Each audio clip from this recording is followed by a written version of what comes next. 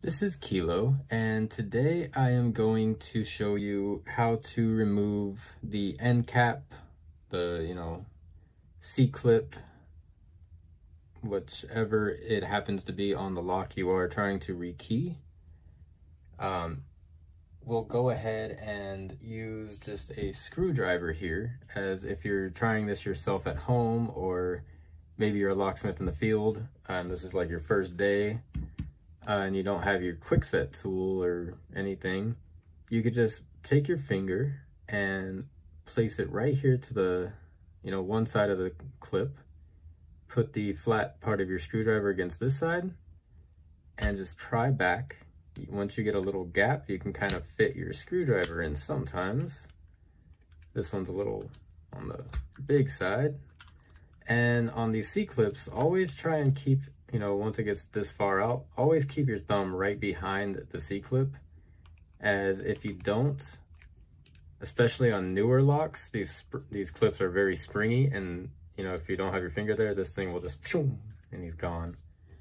And depending on where you're trying to rekey this lock, if it's, you know, on a, you know, in the back of your service vehicle, it could fly out into the road and you'll never find it. So that's that. Then you just would take your key, you know, put them in, turn them, use your plug follower, rekey, put them back. And from here, anytime you can, you want to try and, and replace this clip from the top. I see people go up from the bottom. You want to try to get in the habit of just putting it on from the top side. You could just lay him on and take the flat side of your screwdriver and just pop him right back on and he is good. Now, with this style, this is a Brinks, this is from a Deadbolt, and this is a common um, end cap that you'll find on Schlage, and, you know, a lot of brands are using this now. A lot of um, the knockoff versions of Kwikset are using this type of end cap. They do make a tool um, that basically kind of mimics the grooves here and it slides over the tailpiece and it pushes in this little pin and you could just unscrew it.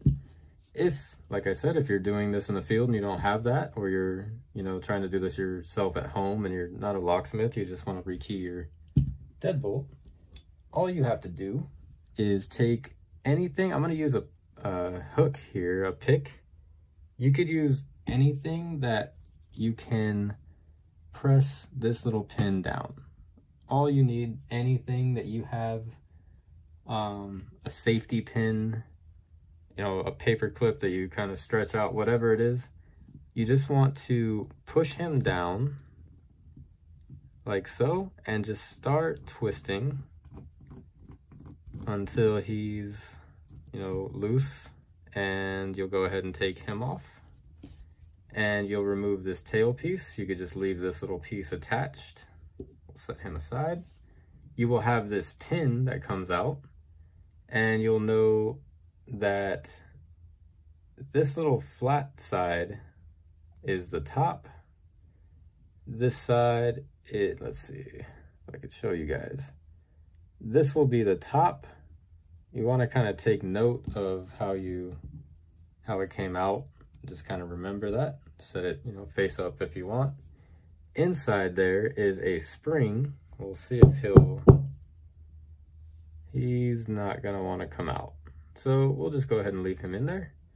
And just like in the other Defiant here, we, you know, put our key in, turn him, and you can take your plug follower, push him through, rekey it, turn him back, you would hold the face of the plug here, remove your key, turn him, you know, face down, make sure that spring's still in there if he didn't fall out before. Sometimes this spring will shoot out with him if you are not careful.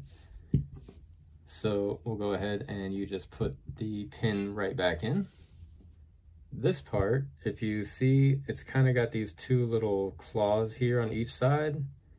And this little plate has a little notch that kind of corresponds with the pin. you can set him back in.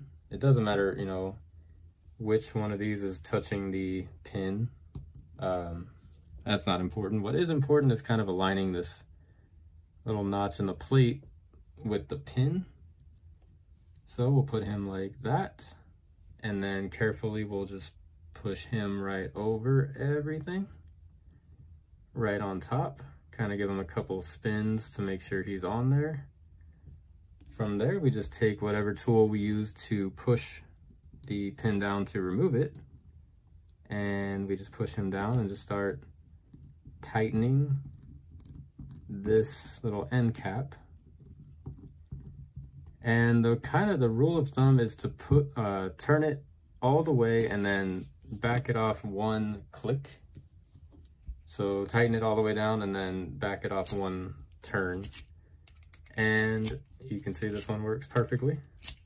No issues. It doesn't, you know, if if there was going to be an issue with this, um, it wouldn't let you, you know, pull the key out or sometimes it'd be too loose and you would have to kind of mess with the key to be able to turn it to so just to know if you have an issue with him if it's not you know if you put your key in and it's not removing you have to you know loosen him one one click at a time. So if your key's not coming out you would just push him down and back him off one turn and try it again.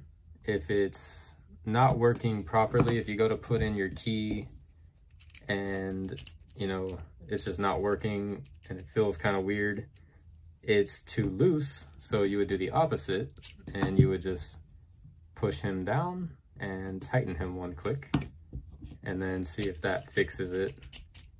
So that is how to deal with these two tail pieces. This is very common on pretty much every lock nowadays that you're going to come across is going to look like this or this. Um, when I was starting out, you know, as an apprentice, everybody was like, you know, this is, um, they would just tell me about Schlages with this type of end cap. Now, like you can see, this is on this Brinks. They have them on these knockoff Kwiksets now. Um, Defiants kind of all stick with the C-clip feature. But just to give you guys an idea of how to remove that, to rekey your deadbolts or your knobs or whatever it may be, um, that's all there is to it. So if this video helped you guys, you can feel free to leave a like. And if you guys need help with anything else, feel free to leave a comment below. And as always, have a nice day. So in the video, you guys might have noticed this little sticker decal here. It says remove decal to rekey and to rekey through the bottom holes here. If you were to remove this, it's basically just a sticker and depending how old the lock is, depends on how sticky it still is. Someone could have already tried this and there's a little cap underneath um, if someone's tried this before, I've seen it where they've forgot to put the cap back on and I've stuck it back with this decal, just holding the pins.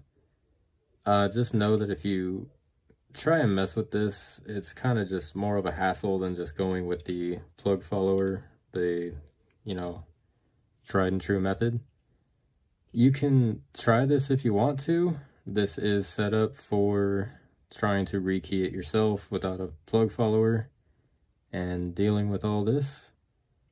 I don't recommend this for anyone working in, you know, the field or in the shop. I would just, you know, use the plug follower method just to explain why I went with the plug follower method in the video. Um, I always do. Just kind of a funny little version of these locks that comes with this feature. If you have any trouble with this little cap or anything here, you can always go ahead and call this number and complain to them. But just to, you know, put a little note here as to why this, you know, why I didn't go with this method for the video.